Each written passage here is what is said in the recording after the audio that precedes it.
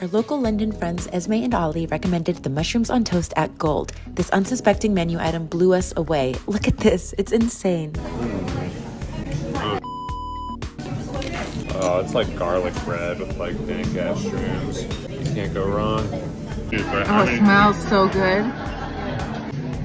Mmm, this toast is crazy. perfect chewy mushrooms, divine sauce, and the bread. Get out of town.